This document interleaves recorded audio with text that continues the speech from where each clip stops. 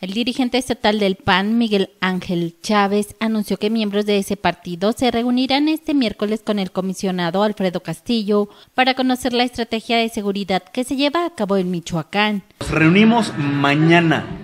Mañana tenemos la reunión con el comisionado a las 3 de la tarde en lugar por definir. Una comisión de alcaldes, los diputados locales, la diputada federal y probable, la dirigencia estatal y probablemente los senadores de la República.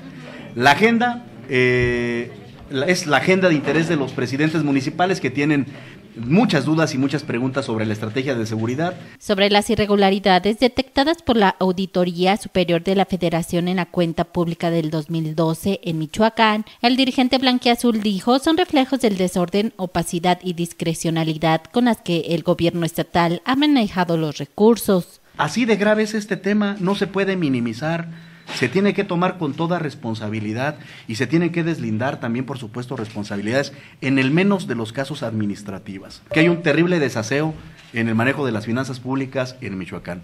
Aseveró que a raíz de la red de corrupción que se encuentra en el gobierno, las autodefensas se siguen expandiendo por la propia solicitud de la sociedad. caiga quien caiga. En Michoacán gobernamos todos los partidos políticos en los municipios, del PRI, del PAN y del PRD. Y lo que nosotros pedimos y exigimos es justamente eso, que se pueda desmontar, que se pueda desmantelar esta red de corruptelas gubernamentales.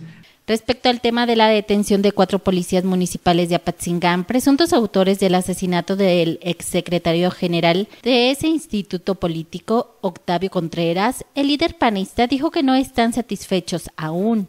Con información de Felipe Bárcenas, informa Cuasar TV.